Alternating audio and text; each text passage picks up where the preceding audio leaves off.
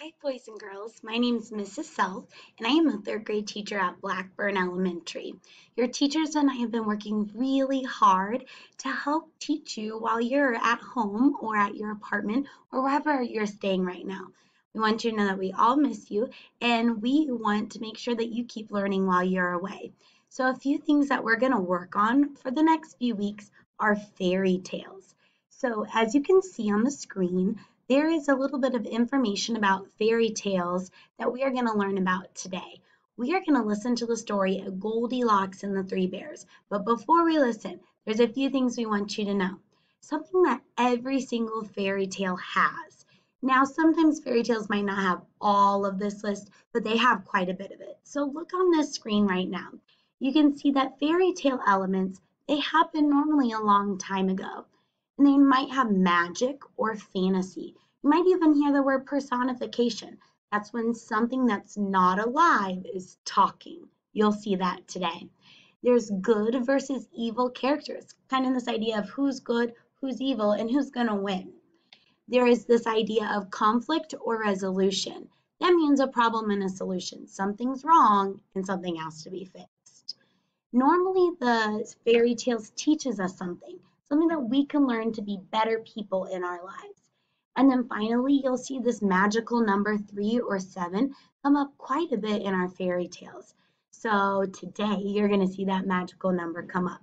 So this is your job right now. You're going to pause this video and go click on the link and watch Goldilocks and the Three Bears. I'll be waiting here for you. Hey, welcome back. So hopefully you saw some of these elements in our story today. I bet you you can think of a few. What do you think? Maybe take a moment and write it down. One thing I thought of was magic. Remember that word personification? There was personification in the story. There were bears talking. That would definitely be a magical element. Can you think of another one? All right, something else I thought of was the number three, that magical number three. I'm going to show you my notes over here now.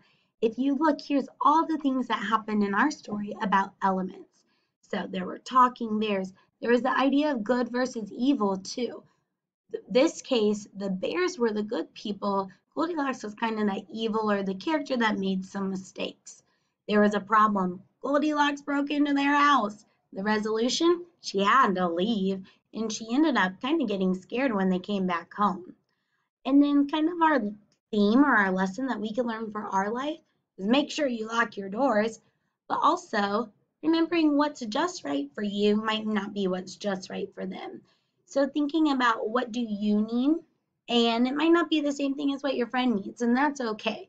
In this story, Goldilocks was trying to find that just right porridge and that just right bed and that just right chair um, but she ended up not quite finding exactly what was perfect for her because we're all different and that's what makes us all so special.